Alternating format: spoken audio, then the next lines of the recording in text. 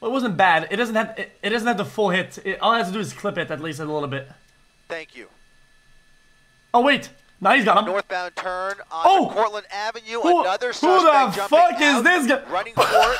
They're going to take him into custody in short order here, and the driver is continuing once again. So now three people have jumped out of this vehicle. He tried it. He tried it. Again,